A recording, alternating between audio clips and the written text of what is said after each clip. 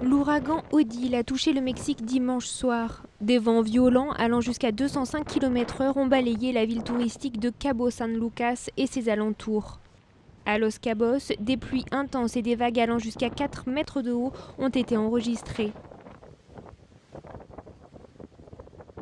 Odile est un ouragan jugé très dangereux, classé en catégorie 4 sur une échelle qui en compte 5.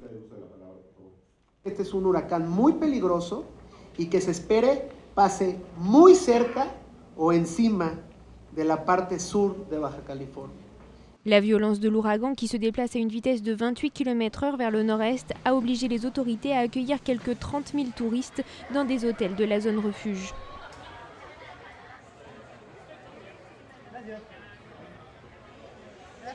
30 000 turistas, 26 000 extranjeros y 4 000 nacionales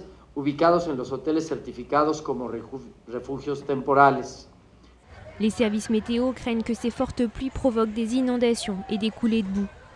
Selon les autorités, il n'est pas exclu que l'ouragan se dirige vers le golfe de Californie.